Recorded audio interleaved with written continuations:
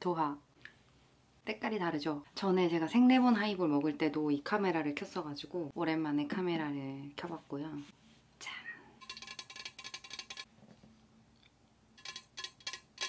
생라임 하이볼이 나왔어요. 이거는 보드카가 들어왔대요. 8.3도고요. 똑같이 이렇게 뭐야? 탄산 짱 세다. 이렇게 이렇게 생라임이 들어있어요.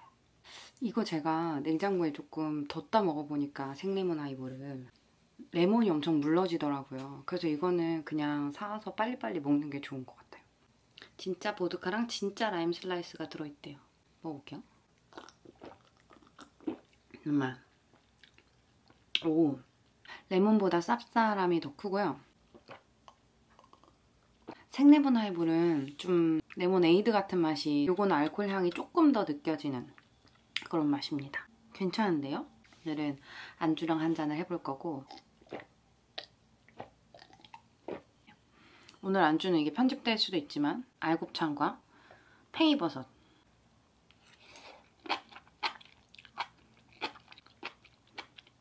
양배추도 넣었습니다. 거의 거의 채식이에요. 거의. 음 매콤해. 맛있다.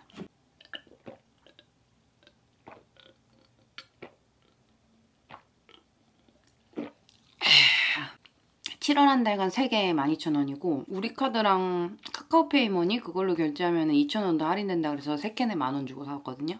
한 번들 먹을 만한 것 같아요.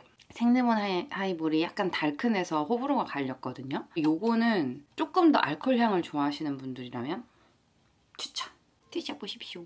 저는 이렇게 생레몬 하이볼과 알곱창을 먹으며 하루를 잘 마무리해 보겠습니다.